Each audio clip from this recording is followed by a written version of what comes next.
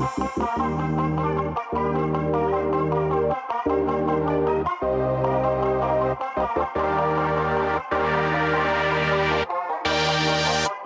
and welcome to When Sunday Comes, a brand new podcast that aims to get into the heart of women's football and hosted by myself, Graham Falk. Today's guest moved to Edinburgh in the summer and instantly became one of Scottish Women's Premier League's hottest properties with Hearts. And despite just being 22 years old, has scored an impressive amount of goals in the colours of Oxford United and Lewes. Welcome to the show, Georgia Timms. Georgia, how are you? Are you okay? Yeah, I'm good, thank you. Did I get your age right? 24. Oh, you're 24. Getting old. Yeah. I know, I know. I say that to myself all the time. I do apologise for that. Well, I'm 36, so to be fair, but you shouldn't feel too bad. Um, I'm determined to start the show with the same question all the time. Um, how's your morning been? All right. Yeah, had a good morning. was up, coffee, breakfast. Lovely morning, to be honest. do you have like a set breakfast? Do you have to eat like specific things, or are you a bit more kind of by the way? Um, it depends. A lot of the time, I just have uh, overnight oats, but mm-hmm. today I changed it up a bit. I just had a bagel. I can't beat a bagel. What's your What's your bagel topping of choice? Um, I usually either I'm just plain, just have butter, or I do have honey. Salmon and cheese. A lot of people. You what? Sorry. Salmon cheese. and cheese. Salmon and cheese. Oh, I'm not. I'm not a salmon person. I, I, wish I was, but I'm not. got off on the wrong foot. We better just go straight into football, I guess. Um, you're not a salmon fan, but um, we're going to try and cover as much of your career as we can, as we always do. But obviously, that's difficult. Um, feels like there's plenty to dig into, but let's start with the sort of recent stuff. Um, at the point of speaking, which is the 19th of October, um, Hearts are sitting in the top four. You're one of the highest goal scorers in the league, I think, with six. You seem like you've settled in quite well. How are you enjoying sort of your start of life with Hearts?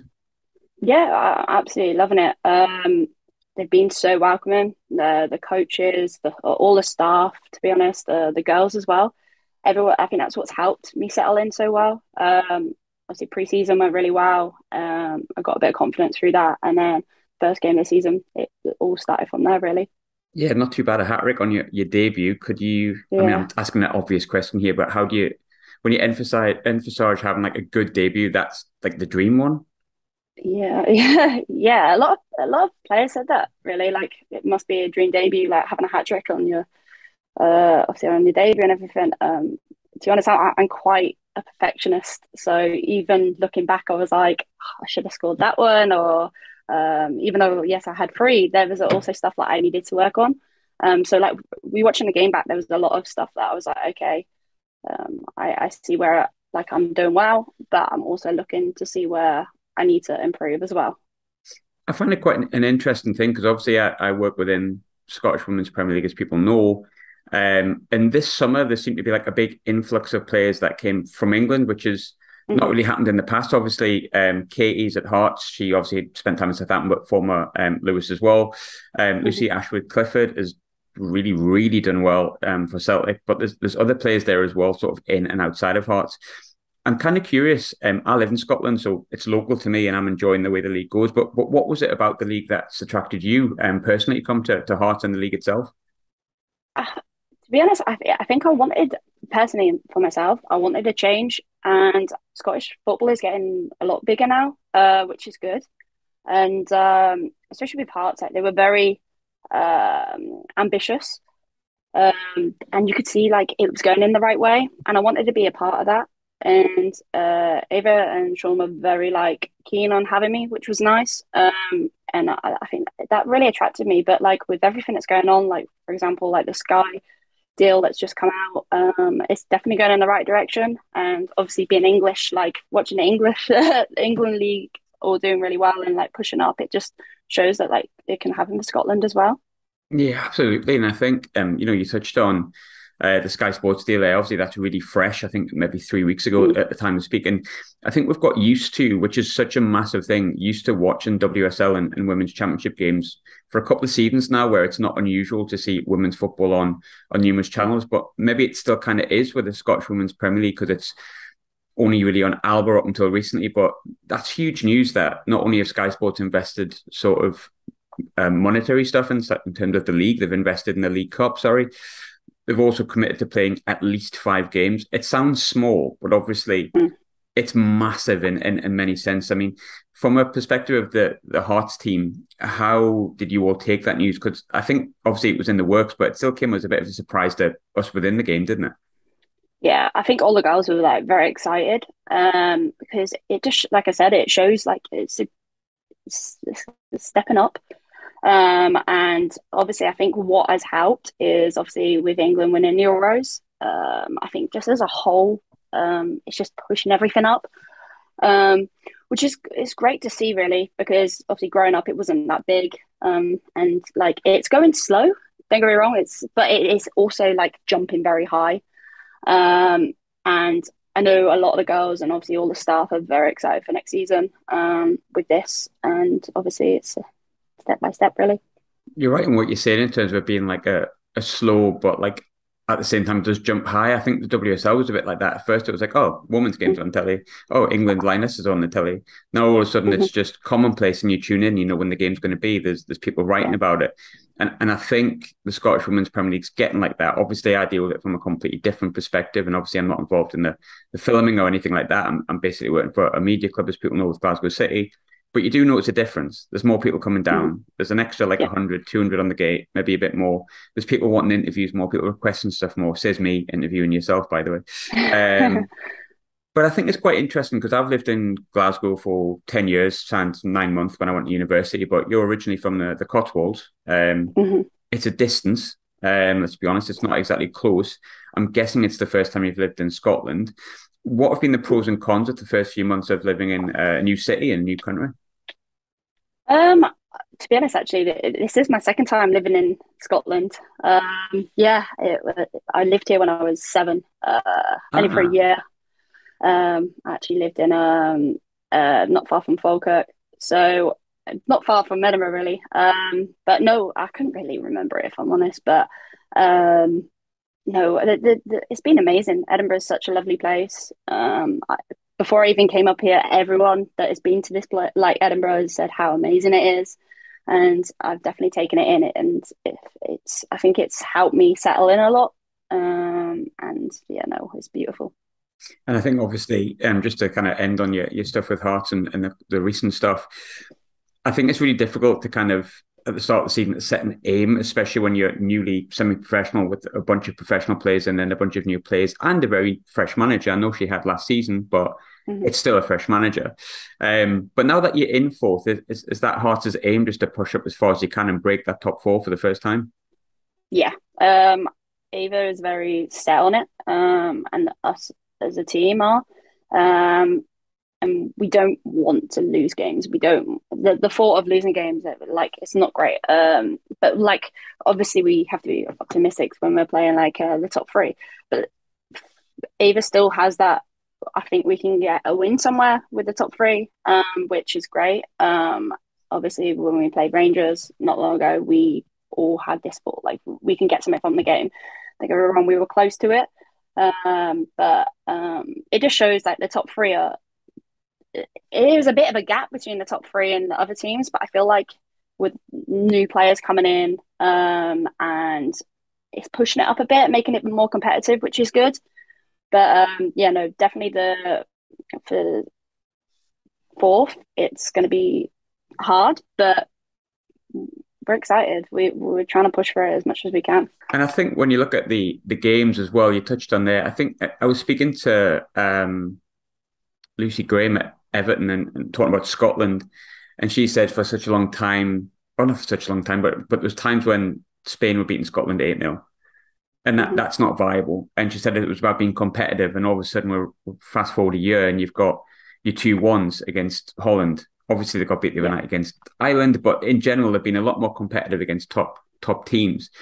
And I think when you mm-hmm. look at the top three, maybe previously in the past, you would get your five nils, your six nils, but you touched on there the Rangers game, the Glasgow City game as well.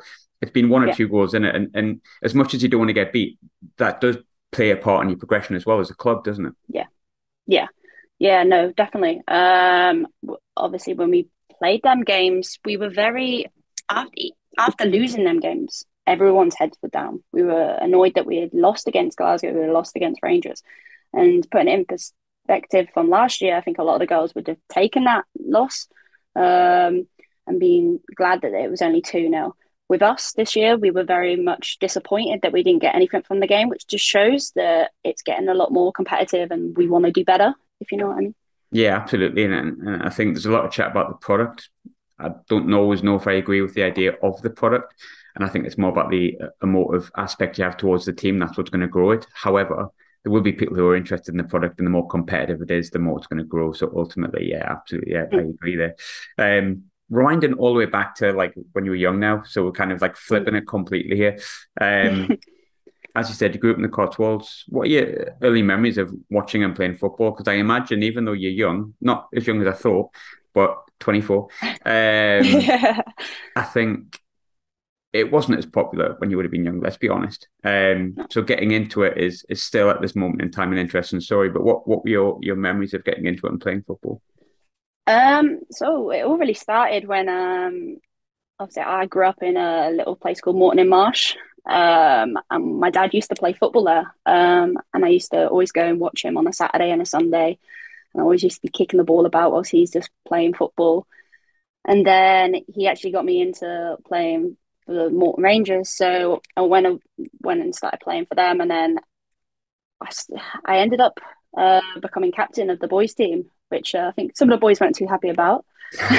but no, um, no, they were really supportive. And um, whenever I used to go and play, they always be like, "Oh, there's a girl playing. There's a girl playing." Um, it was very much like that when I was younger. Like, "Oh, oh, she's quite good. She's a girl." Uh, which now you see and you don't really hear that as much now, which is quite good. Uh, but no, um, I obviously remember. No, I say it was really my dad that helped me, um, and and also my nan and grand. Um, they used to always take me to training, um, and then obviously when um, I got to eleven, my dad was a massive Oxford United fan, and he saw trials, so I went ahead and did trials, and that's when I started playing for Oxford. Now you're 11 when you started at Oxford, is that right? So it's quite yes. young, quite young, especially yeah. being involved with a club that's like. I don't want to sound bad to other clubs, but like everyone knows who Oxford United are. That's an actual club mm. club. Like that's got a, mm-hmm. a, level of progression of getting into a, a league team. But you made yeah. your debut at 15. Now I found out this random fact, uh, which I think is quite good actually. I think people will be acutely aware, even if they're not massive women's football fans listening to this, who Sue Smith is. Your first game yes. was like Mark and Sue Smith, is that right? Yeah, at 15. yeah. Uh, yeah. I was um growing up I played in every position, which is also uh, quite a weird um, fact. Um, but at that time I was playing centre mid and um, my manager Les then he uh, Les Taylor he he was like right you're coming on and I was like, oh my God, uh, like panicking. I remember I uh, was panicking that much that I even forgot to put my shin pads on um, so I went onto the pitch like, oh my god! And then I remember just stood next to Sue Smith. He was like, right, you're going to mark her, and I was just like, just like looking up, like, oh my god. um, but no, it was um, it was great. Like, um, yeah, no, it's it's amazing to be honest. Like looking back at it now. Did you manage to get like a chat with her or anything? I know obviously you're kind of opposition, but you must kind of in some way yeah. be a bit in awe. It would be hard not to be. Um, if I, I, can't really remember, but I, I, remember just just being so shy. I was quite, quite shy back then. Um, um I, I, can't really, I, I can't remember actually speaking to her if I'm honest, but I think I was just more in shock that I managed to get on the pitch. Obviously, being quite young and obviously being in the championship. So, no. I suppose it was towards the back end of her career uh, with Sue, but Sue, as everyone knows who watched the game, will know how much quality she had. That's why she had so many caps for England and why she's an authority on women's football now on Sky Sports. But um, I suppose it's hard to kind of be a sponge when you're 15 in your first game. But like, did that was that like a not a baptism of fire, but does it did it show you the levels you had to be to to kind of if you wanted to be where you're at, just that being your yeah. first experience of it? Yeah, like I I just remember then even just getting a touch of the ball, it was just like oh my god, I touched the ball. Um, now I look back, I'm just like wow, I was so young then. Um, but it, no, it just shows what experience you need. Um, because I, I, look back now and I'm just thinking uh, that was just the achievement for myself, and it just showed like how much I've improved and how much um, mentally as well. Um, it's just yeah no I look back at them kind of games and I'm just like okay I, I was a bit of a workhorse then so we just had to improve in different things. I suppose in a way as well when you come up against Sue Smith in your first game, there's not many people across the leagues in the championship, even the, the, Scottish leagues, that you could come up against that are going to be bigger names than that. There's not many. Yeah. So it, it kind of, I suppose it helps you being less overrode. Like if you played Sue Smith in week one and Sue Smith Mark two in, in week two, you're not going to be as overawed as you were in week one. So I suppose that's like the best kind of person you could come up against in terms of getting rid of those nerves. I, yeah, definitely. I also, I can't remember what age I was actually. Um, I also remember playing against Everton and um, I, I started the game and we I was playing on the wing and I had to mark uh, Chloe Kelly when she was at Everton, and I just remember I was I think I was quite young then as well, and I just remember obviously she was a big name then as well. Um, so, um, like little things like that, I look back at now and I'm just like, it just shows like the quality, um, and I'm also very grateful I think when you look at Chloe as well, she's she's done all right, hasn't she, the past few years? Yeah, she's yeah, yeah. No, she's done really well. Got something, the winner as well. something something happened in the summer. I can't remember what, but um, in terms of Oxford, you know, you, you can't deny that ultimately that was what started you on your career, not just from like playing at 15, playing against these players. You had a couple of really successful years. You won players player, you won supporters player of the season in 18, 19, top scorer in 19, 20. However, and you probably hate me for this because you probably want me to concentrate on the achievements, but there's something that really interests me about that time period, um, especially around that sort of level. I think I remember it really well because I was working with Borough at the time, which would be in Division Three. COVID hits, entire last few months of the season completely cancelled. Everything just shut down. Suddenly you're playing weekly, playing well, scoring goals, happy, and then all of a sudden everything just gets closed down and it's curtailed.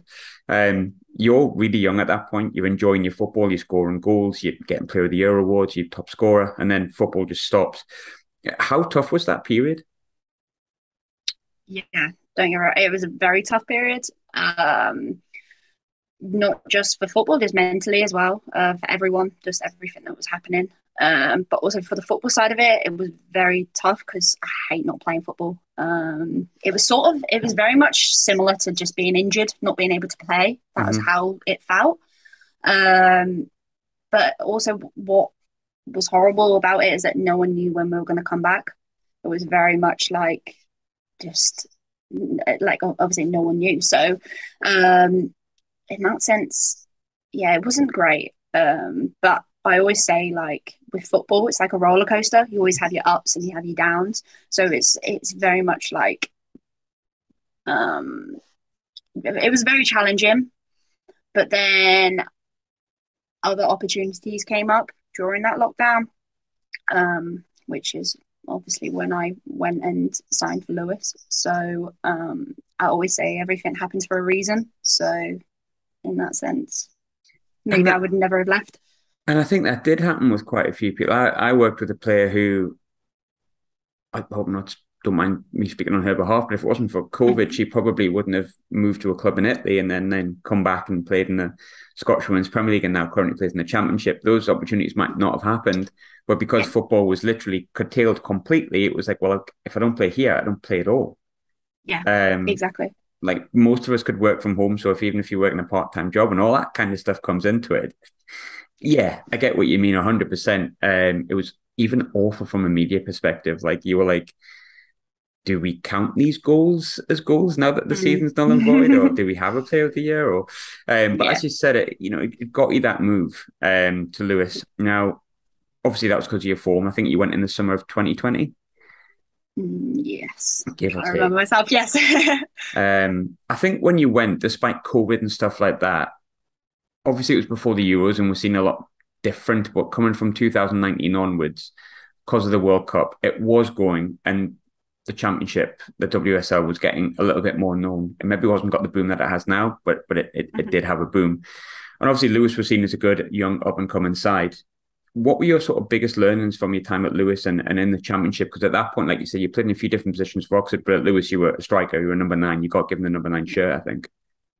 Yeah. Um, no, Lewes was um, it was good for me it was very um, much like a great, a great opportunity. Um, Simon Parker, who was the manager then, he was very um, good with me.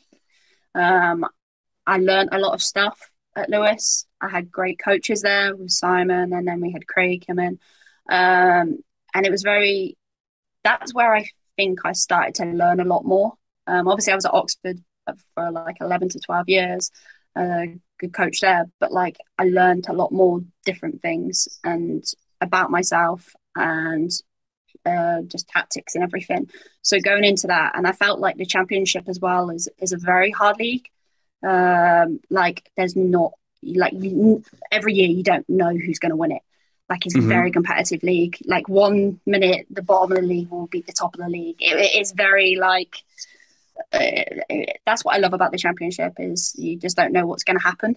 Um, so in that sense, it was good. Um, I had, I feel like um, it took me a while to get into it.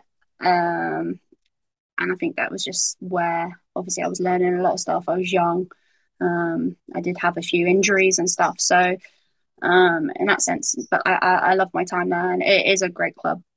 I think if you've been somewhere from the age of 11 till like your early teen years, mm. whether you want to or not at Oxford, you probably would have had some level of like comfort blanket or, or comfort yeah. zone. I think it's just natural. Mm-hmm. Um, did that help you going to Lewes, taking you out of the comfort zone? Not just obviously, I know you'd played in the championship with Oxford previously, but I think it was a different championship, if you know what I mean. By that point, you came yeah. back and you were older, you'd mm-hmm. learned a bit more. But how much did it help taking you out of that comfort zone and, and not being at Oxford and being at this new club? Mm. It, to be honest, um, I was very much, do I go, do I not? And I mm-hmm. remember my dad saying to me, look, I think you should go. Um, you might not get this opportunity again. You've been at the club for a very long time, and I think this is just showing that there's something there for you. And if you don't take it, you might never be able to. So I was very much like, okay, I'm going to take it. Um, and I'm glad I did take it because I feel like if I hadn't, I probably would still be at Oxford now. Um, not saying that's a bad thing, but I, am glad because I want to be doing stuff. I, I have always wanted a career in football. It's always what I wanted. So being able to push myself, um, it definitely helped me a lot. I definitely changed as a player. I understood a lot more stuff. Um, obviously, being in the comfort blanket, I was literally like that Oxford, just doing the simple things and just yeah. And I was working a lot then. I managed to as soon as I went to Lewes, um, the second season at Lewes, I quit my job and managed to go full time with Lewes, which was great for me. And ever since stopped working, um, physically, mentally, everything, I've been a lot better in myself and managed to grow as a player. In terms of you touched on the moving from professional, uh, sorry, non-professional or part-time to professional. I feel like I'm asking the most obvious question ever, but I just think it's really interesting for people listening to understand because I've worked with players who have been classed as amateur, quote unquote. Um, so they come from the 95 stick a Tesco meal deal down the throat, and all of a sudden that's them going to train before a top of the table clash. Going professional just allows you to kind of work on your body, work on your physique, work how you're going to play, learn tactics, think, live and breathe football. But how much does that benefit going from being able to concentrate a little bit on football to just always football? Um, massively. I never realized until it happened how much going from semi professional to professional, like you said there, like you're eating, you're sleeping, you're recovering so much better.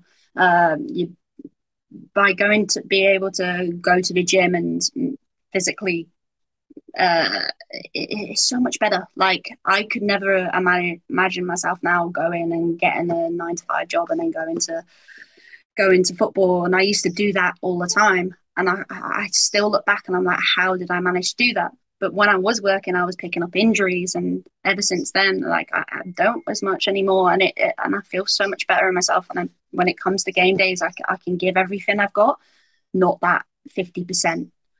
So it is, and also like you, you basically live and breathe football, which I've always wanted to do.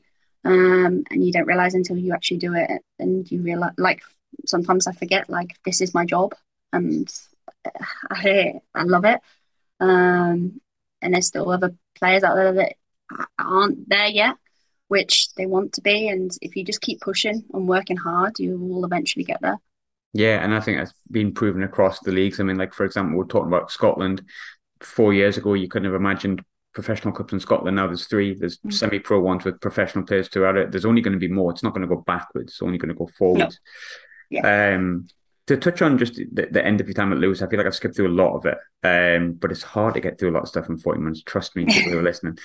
Um, as fans were sort of beginning to come back to games and stuff like that, you scored obviously a really memorable winning goal against the champions, which was Liverpool at the time.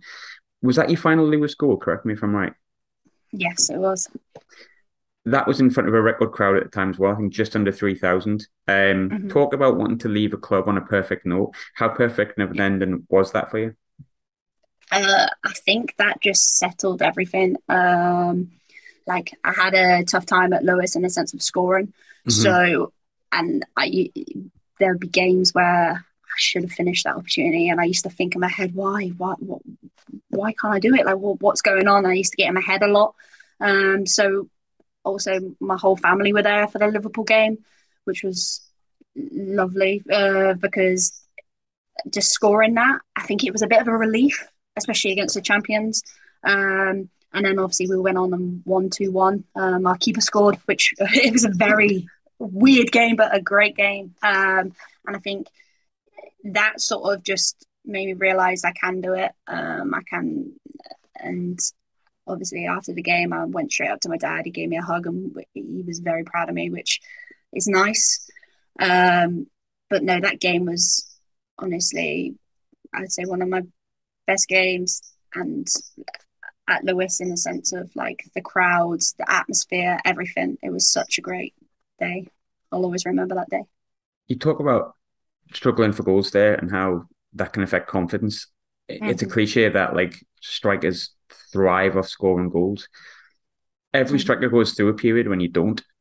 That's just mm-hmm. the way it is. Um, how difficult are those periods when like you just feel like you want something to go in off your backside and nothing will go in? Like how difficult yeah. are those periods? They are so difficult. Um, it's very much mentally. Mm-hmm. Um, especially if you get in your own head and you think about it, you just tense up. You just need to be relaxed. Um, just relaxing because once the first one goes in, that's it. Like you, you relax. You don't think about it. Is when you overthink it. That's when they don't.